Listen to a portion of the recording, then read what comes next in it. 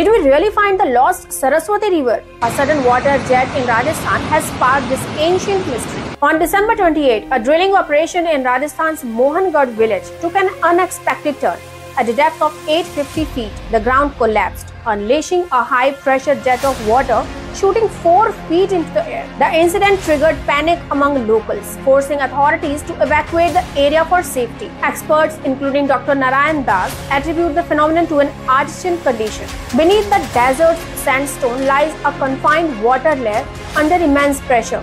When breached, the water shot upwards with unprecedented intensity, a rare yet natural occurrence in the region.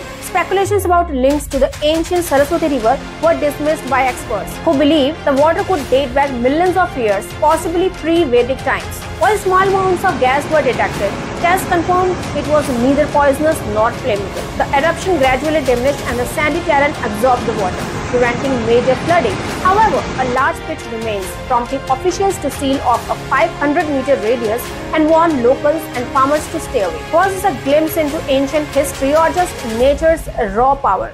Either way, it's a reminder of the secrets hidden beneath our feet. Follow Live Qurious.